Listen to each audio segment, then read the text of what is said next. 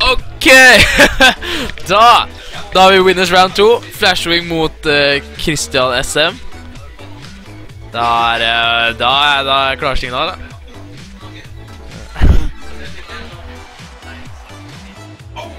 Ja, avantflash, ja.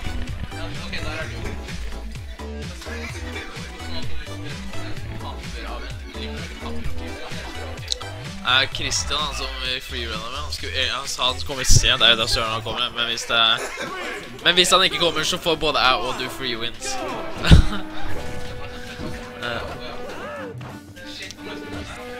uh, skal vi se Hva uh,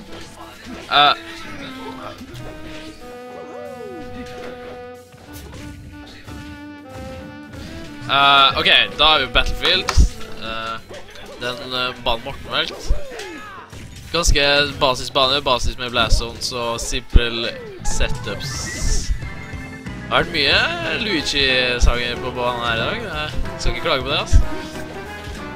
Jeg tror det er noe med den grønne Marioen til morgen, ass. Da får jeg litt sånn der leprechaun-bonus-lucks her. Gjort det sinnssykt bra i dag. Oh, nei. Venta litt for lenge. Så greia er at uh, hvis du er i losers bracket, så tar vi ikke stream-kamper utenom når det kommer på slutten. Så hvis du bare er i losers bracket, da er det bare å finne uh, På up-airen her Å, fikk nesten Å, prøv Så close over edgeguarda, da. God fireball. Altså, Fisk er på Jeg må spørre dere. Han er på jobb nå, så hvis han er jobber et drag, så går han ned ja. med en gang.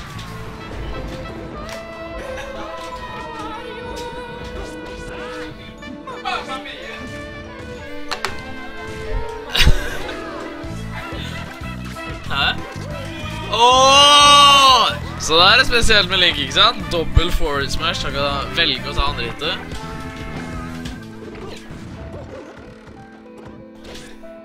Får inn up til combos. Down smash. Skal vi se. Det er mye rulling fra Kristian her. Skal vi se om Morten klarer å punishe det på noen måte.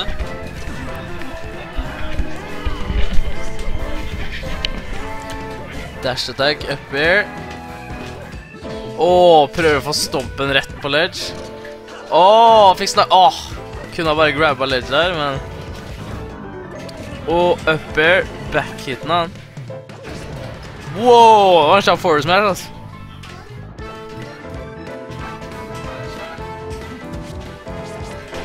Jab, jab, down tilt. Satser på forward smash, men blir punished av up special. Åh, prøver å snu den.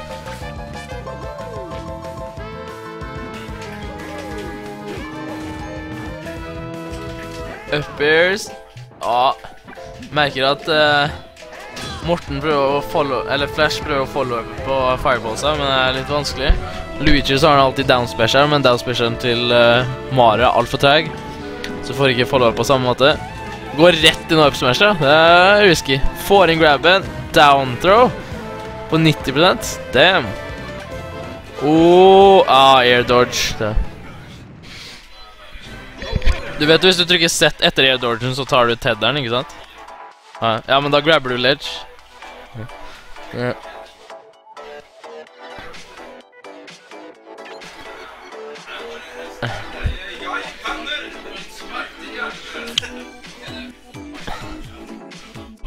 Skal vi se Hmm, har ingen anelse. Det var Christian sine banepreferanser. Så får vi bare se. Blir Yoshis. Liten bane. Eh, begge characters er ganske gode på baner. Jeg vet egentlig ikke hvem som har størst fordel. Tydeligvis Link. Uh,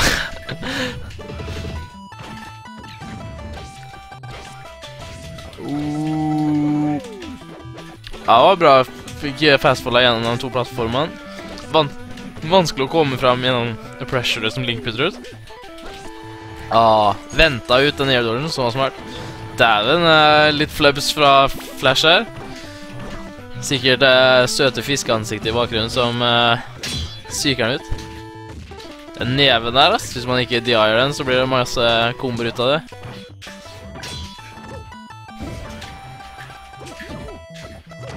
Oh, rulla bakover, men det gjorde også Kristian. Backthrow. Og får inn forward smashen. Trade, men verdt det for flash-tider. Skal vi se om han klarer comebacket. Der ser vi at uh, noe av Luigi-gameplay har kommet inn uh, for at uh, Morten begynte å waydashe mer. Down Oh, prøvde å få det inn i en grab. Den var litt for høyt oppe. Punish. Ja da, for to uppers. Up smash. Ah. Bra. Ah. Så han velger heller å ta mens de ligger i helpless state, istedenfor å vente på tech og få et sterkere angrep. Som er ganske interessant. Der så Fireballen traff shieldet til Link, men han fikk litt knockback, så han ble lott utfor kanten.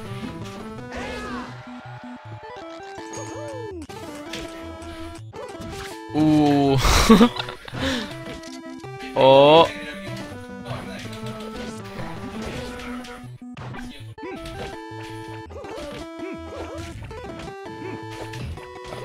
Skal vi se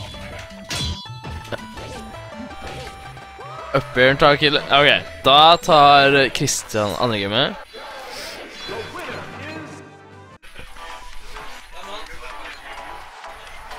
Står det.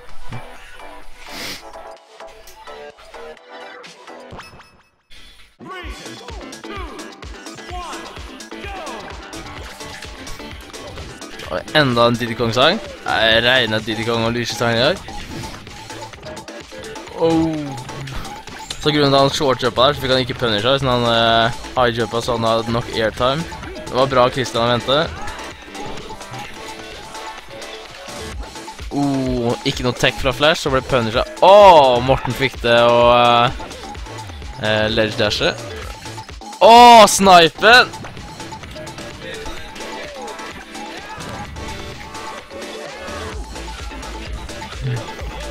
Skal vi se Forward smash. Er ganske Ganske beskjedent edgeguard fra begge spillere. Veldig mye prosjektiler. Reverse forward air. Ta ikke Jo! Wow! Oh, shit.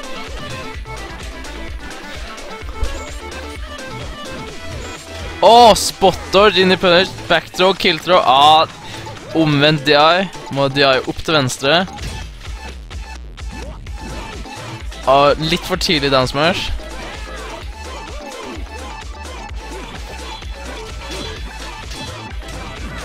Skal vi se Akkurat utenfor range, begge to til å få inn noen angrep. Skal vi se Går litt inn og ruller litt ut. Yes. Går inn til short up downer, ganske bra. Men han får ikke follow-up. Bare stray hits. Oh, ah, prøvde å lese DI og få upsmash igjen.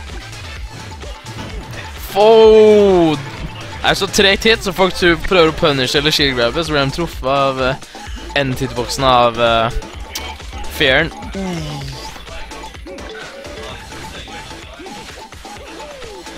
Oh, forward smashen inn. Ah, ett stokk, det var. Så er 1-1 game og 1-1 stokk nå. 15% ledelse. 24. Baller seg på nå. Kom. Oh, her kommer Mario-komboen din. Ikke mye edgeguard, men uh, litt risky med ett stokk, kanskje.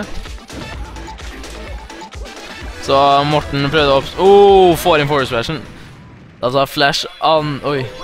Andre game. Hvis Morten tar gamet nå, eller Flash Fader, ja. Hvis Flash tar andre gamet da, så har han vunnet winners round 2. Uh, mens Christian tar det her, så blir det enda et game. Så uh, Morten er klar for å gjøre det ferdig på Final Destination.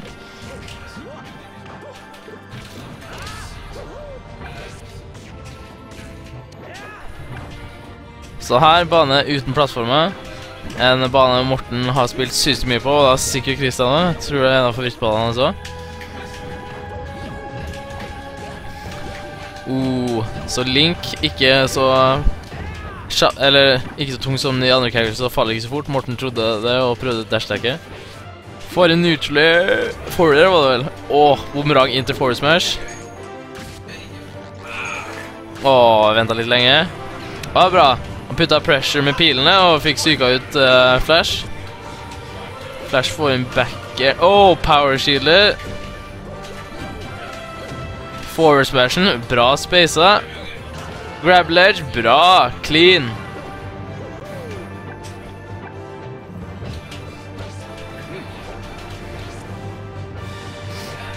Og get up deck, rolig å få de nå. Det er bra. Det er bra å mikse opp iblant. Den bumerangen der Åh! Hvis det hadde vært free ledge grab, men får kill likevel. Med forward smash. Ja, den bomba der. Det er faktisk mange links som brukes som en strategi. Å faktisk ha en bombe i hånda når motstanderen eh, kommer tilbake. Siden de får alltid vunnet traden siden de har invincibility frames. Men så, mens de blir komba, så har de en bombe i hånda som sprenges og stopper kom... Oi! Tilgrab. Klanker fireballen. Å, shieldet tar imot fireballen, og så retaliator. Det er bra. Å, treg uh, forwarder. Nutler mener jeg. Som Åh! Leste rullen og ta forward smashen din.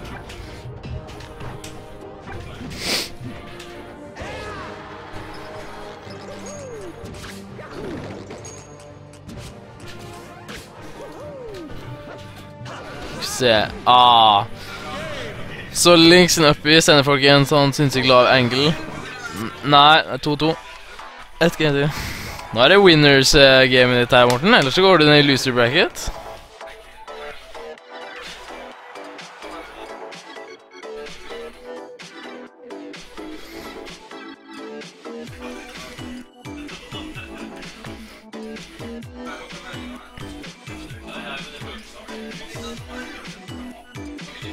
Nei, men det er Morten som velger nå? Ja, da er det de Morten har vunnet på.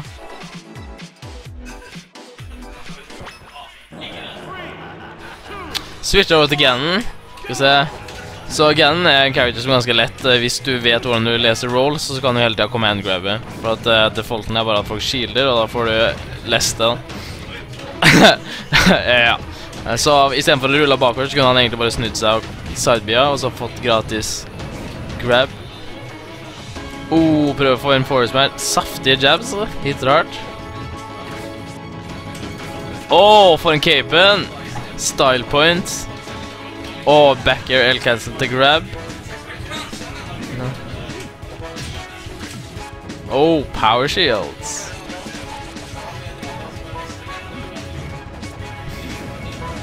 Oh, hoppa over eh,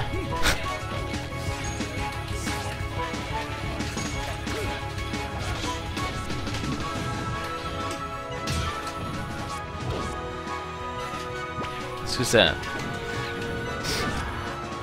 Up-tilten. Der. Oh, trade a hit. Ser ut som Gannon vant den. Han har sykt mye prosent. Oh, spacer det bra og får en forwarderen. Og perfect chilla første hitet, og chilla gjennom andre. Og vi se, får han sweet spot? Ja, bra. Oh, snipa. Så det han kunne ha gjort der, var å ledge-jumpa istedenfor å drop-jumpa. Så kunne han kanskje hoppa opp til første plattform. Oh, burde venta opp get-up-attacken og sidevia.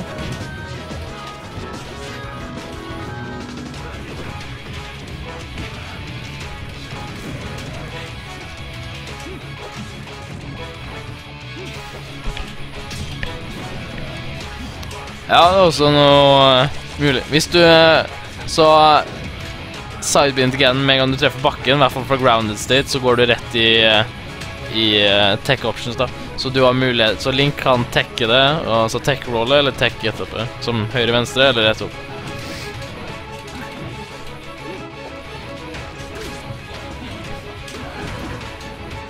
Bare first hit av down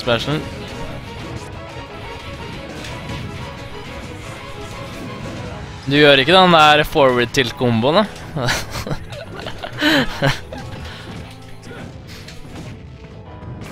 Oh. Så det er ganske Oh, får nesten på Åh, oh, får stompen! Morten tar Ser han i